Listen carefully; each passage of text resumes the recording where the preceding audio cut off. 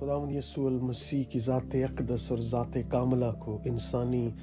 زباندانی سے بیان کرنا ناممکن اور محال ہے اور کوئی بھی شہرہ افاق کتاب یا لغت بھی خداوند یسوع المسیح کی کاملیت، اس کے القاب اور اس کی اصاف کو بیان کرنے سے قاصر ہے ناکافی ہے اور نامکمل ہے، کیونکہ خداوند یسوع المسیح خدا قدوس کا، قدوس کی ذات کا نقش ہے۔ آپ حادی برحق معصومن الخطا و گناہ، منبع رشد و ہدایت، وجہ تخلیق کائنات، گلشن داودی کا گل زیبا، آدم ثانی صبر و رضا کا پیکر، غریبوں کا ملجا یتیموں کا ماوا، حامی بے کساں، انسان کامل، معلم انسانیت، عجز و انکساری کا عظیم شاہکار، عظیم ترین مربی کامل پیشوا اور نمونہ تقلید، کلام مجسم، عدیم المثال قاضی، عالمگیر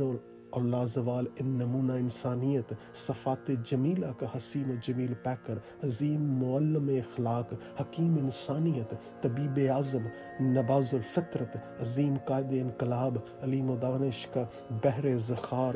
گشت نمائی کے ہر داغ سے بری، ابتدا و انتہا، الفا و امیگا، شافی کامل خدا قدوس کے جلال کا پرتو، خالق کی ذات کے حق کا نقش لاسانی ازل سے زبا شدہ برہ، اول و آخر نور حق، راہ حق اور زندگی، منجی دو عالم زندوں اور مردوں کا منصف اعلیٰ، صلح اور سلامتی کا شہزادہ، اپنے پرائے کا غم کھانے والا، مشکل کشا، کونے کے سرے کا پتھر، کائنات کا مالود اول، مالک و مختار، وارث دو جہاں، شاہ عظیم، غریب پرور، کامل محبت، سراپا پاکیزگی سرتپا کلام ربی، ابن آدم، ابن خدا، ابن داؤد، شاہ دو جہاں، زمین اور آسمان کا کل اختیار رکھتے ہیں اور شافی ہیں، ہمارے منجی زندہ ہیں۔ خدا یسو کے نام کی ستائش۔ آمین۔